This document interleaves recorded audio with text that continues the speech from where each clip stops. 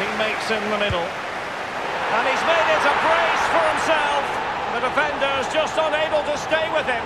And he's having a field day. Well, it's just a lovely goal, Derek. Composure, the ability to do that, technically first class. Well, let's go back to the goal that was scored.